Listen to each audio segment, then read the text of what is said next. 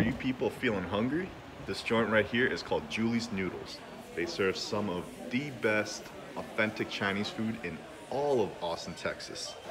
They make some of the meanest dumplings and noodles. I mean, check out the line. The line speaks for itself, right? Over here, we got two types of soup dumplings. So the proper way to eat a soup dumpling without spilling the soup, you first bite off the top, then you add your desired vinegar or chili oil to taste, and then wait for it to cool before you go for it. Also, do not sleep on their other dishes. You have to try their beef noodles.